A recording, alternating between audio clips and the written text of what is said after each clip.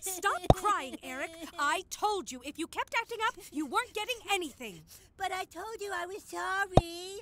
You made me look like some sort of child molester in front of all those people. I wasn't trying to get you in trouble. Then why did you go outside to a police officer and say, Help, help, my mom is trying to fuck me? Oh, wait, I get it now. The F word is a no no word, and I shouldn't say it around other people. I'm sorry, Mama. If you're really sorry, then you'll understand why you aren't getting anything. Well, no, that doesn't really have any logical sense, Mommy, because I'm already being punished by not getting the iPad.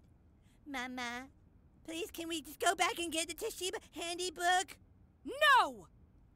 Well, then, could we at least pull up here and get some dinner? Because I like to be wined and dined after I've been fucked!